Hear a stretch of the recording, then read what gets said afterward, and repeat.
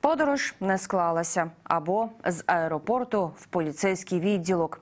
У Греції затримали 17 українців, які прилетіли до Атен із Києва. Адже через високий рівень зараження Україна не входить до списку країн, громадянам яких дозволено подорожувати до Євросоюзу. Тепер затриманим українцям можуть заборонити в'їзд до ЄС на кілька років. Цьому намагаються запобігти посольство України в Греції. Подробиці інциденту з'ясовували наші кореспонденти. Замість готельного номера – ізолятор. Так в Атенах провели ніч 17 українців. До грецької столиці прибули двома рейсами у суботу. Втім, під час паспортного контролю їм відмовили у в'їзді до Греції. Все тому, що Україна не входить до списку 15 безпечних країн, який нещодавно оприлюднила Європейська комісія. Мене в Грецію не пустили, мене відвели в поліцію. Е, В мене забрали паспорт закордонний, в мене досі його немає при собі.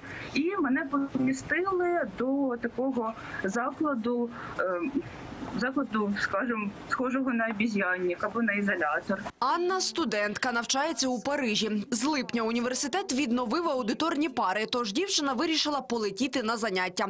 В Атенах проїздом звідси у неї рейс до французької столиці. Попри те, що Євросоюз дозволив в'їзд громадянам третіх країн, які навчаються у єС, дівчину також затримали. Українка каже, при собі мала всі необхідні документи. Зокрема, запрошення від університету і студентський квиток. З цими документами я приїхала в, в аеропорт Жуляни на рейс Wizz Air. Три людини подивилися мої документи перед тим, як посадити мене на літак.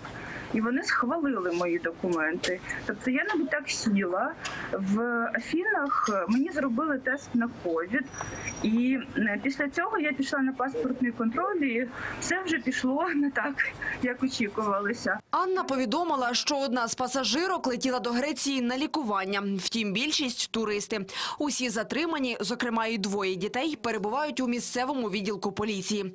У подорожувальників забрали речі, дозволили залишити тільки телефони, проте без зарядних пристроїв. Зараз дипломати намагаються зробити все можливе, аби до подорожувальників не застосували процедуру депортації. Адже тоді їм можуть заборонити в'їзд до Європейського Союзу на кілька років. Відразу як був отриманий на гарячу лінію телефонний дзвінок від наших громадян, наше посольство відреагувало, відреагувала департамент консульської служби. А зараз ця ситуація вся знаходиться на контролі нашого керівництва.